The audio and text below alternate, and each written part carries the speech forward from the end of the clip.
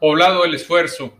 En el lugar conocido por el esfuerzo, en la solicitud lo llaman ahora el esfuerzo, se asentaba un grupo agrario que solicitó reparto en diciembre de 1943, encabezados por Delfino Caballero, Eugenio Quilantán y Gonzalo Hinojosa.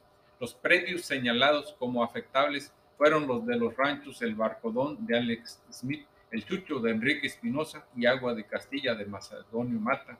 En los alegatos presentados durante el procedimiento, los propietarios de posible afectación sostenían que la petición era improcedente por ser los predios inafectables y por no reunir el grupo demandante el número mínimo requerido por la ley. El ingeniero Ricardo Gibson, inspector enviado por la agraria, informó a esta que en el poblado residían 98 habitantes y entre ellos 32 capacitados.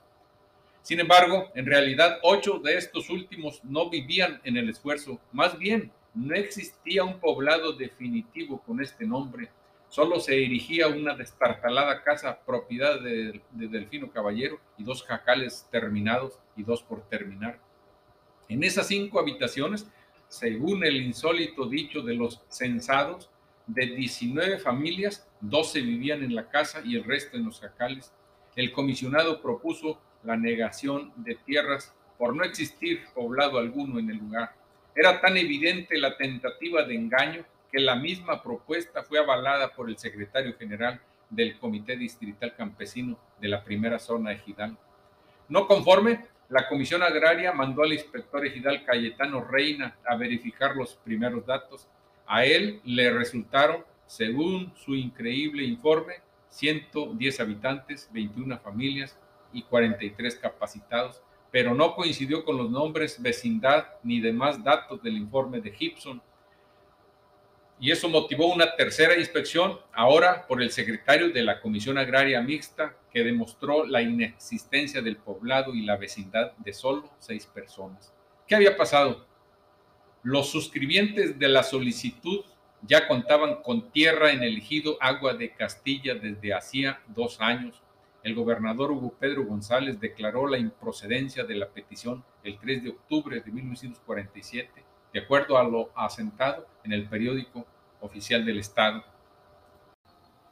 Agradezco a quienes generosamente abrieron sus bolsillos para entregarme su apoyo económico en este enorme proyecto de publicar libros sobre Altamira. Hablaré sobre lo que no son. No son historias endulzadas de un mundo ideal, no son biografías o genealogías de personajes electos, ni cronologías centrados únicamente en sucesos de la villa ni en, ni en vidas de machuchones. No son colecciones de anécdotas, efemérides, hechos aislados o fotos de personas o edificios. No son textos de tijera y engrudo, de recorta y pega no, están dirigidos a romper el prestigio de alguien en particular, ni tienen una intención iconoclasta. Mis libros sí son de esta manera. Cuentan la vida social con sus visibles contradicciones y conflictos. Aluden a la gente sencilla, la que también hace la historia como protagonista, y aquí se escucha su voz y su nombre. Menciona los ejidos, congregaciones y ranchos, además de la villa. Mis libros expresan los procesos sociales, económicos y políticos de Altamira en el siglo XX.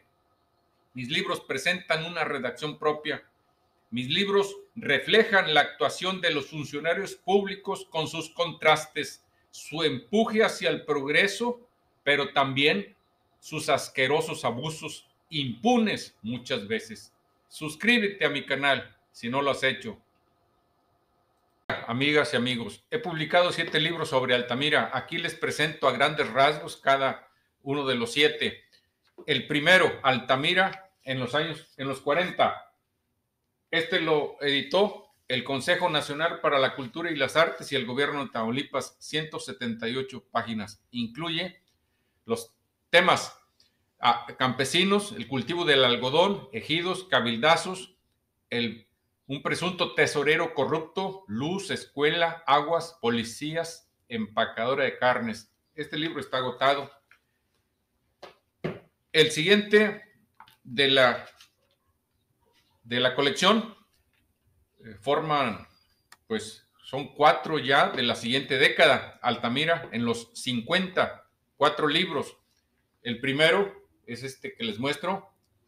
Habla sobre tomateros, algodoneros, carboneros, reparto agrario, los ejidos Vega de Esteros, Aquiles, Contadero, Margaritas, Miramar, Cuauhtémoc, Ejido Altamira y empacadora de carnes. 130 páginas. Está a la disposición.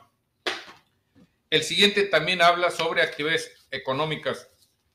En este se incluyen los temas de la Cámara Nacional de Comercio, la Canaco, la Fundación, comerciantes, oficios, ganaderos, salineros, de Lomas del Real, Campo Tamaulipas, petroleros, PPQ o DuPont e industriales, 160 páginas. Eh, se encuentra a la disposición de quienes lo quieran adquirir.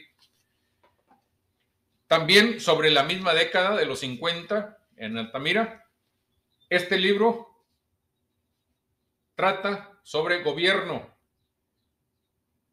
finanzas municipales, agua, luz, junta de mejoras, rabia, vacunas, Cruz Roja, transporte, daños del ciclón Hilda, maestros y escuelas, 148 páginas y está a la disposición de quienes quieran adquirirlo.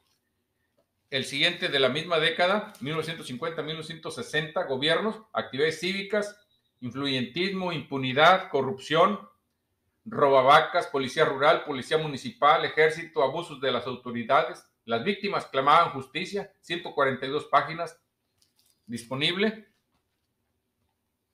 El siguiente es un periodo de dos años, 1961-1962 Trata sobre elecciones, alumbrado, clubes, el cabildo destruyó el archivo municipal, teléfono de caseta, 144 páginas. Este libro está agotado. Y el último de los que he publicado es del periodo 1972-1974. Salineros, comerciantes, feminicidios, luz, agua, escuelas, maestros, asociación ganadera, empacadora, termoeléctrica, servicios públicos, clubes, carnavales, fútbol, atletismo y más. 91 páginas a la disposición de quienes guste adquirirlo. Aquí se encuentra, aquí en el video, los datos del WhatsApp y el correo electrónico. Suscríbete a mi canal si no lo has hecho. Muy amables. Muchas gracias.